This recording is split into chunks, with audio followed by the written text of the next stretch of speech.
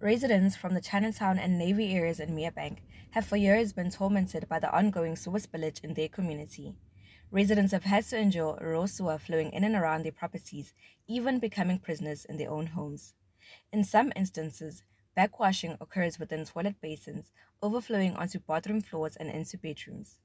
This has resulted in unbearable smells permeating throughout the area, along with infestations of insects and rodents infiltrating their homes. While it is believed that aging infrastructure, coupled with a lack of regular maintenance, exacerbates this problem considerably, residents also acknowledge that some individuals contribute to this issue by flushing foreign objects down the toilets and in the drains.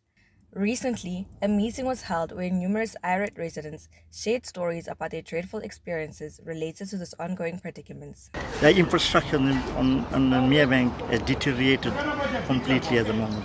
We've got breakages of pipes, we've got uh, uh, pump stations that are not operational, the pump stations are not serviced, they're not cleaned, the sumps are not clean.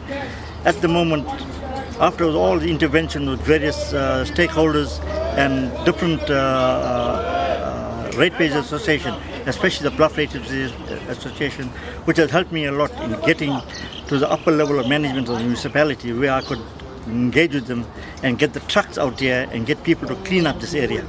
And at the moment, it took a contractor four days still cleaning out the sump that was supposed to be cleared every week. Because of the sump pump is not working, the whole area is surging with, with sewer at the moment. It's all backed up. Though we worked very closely on Saturday, the whole of Saturday, the whole of Sunday with the contractor, we clear 90% of the overflows. Now because of the pump station that's not working, operational at the moment, those surges are coming back again. And we are actually tired, and that is why we call on the government.